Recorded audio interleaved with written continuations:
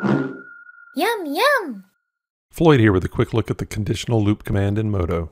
The conditional loop command is a command version of the conditional loop tool, enabling you to make faster selections when selecting edges. In this example, the poles in this topology prevent the standard select loop tool from selecting the edge loop I want to select. Using the conditional loop command tackles it quickly, allowing me to move on to additional selections that the default select loop doesn't provide. Add this command to your selection toolkit to increase the speed of selecting in Modo. Oh, look at the time.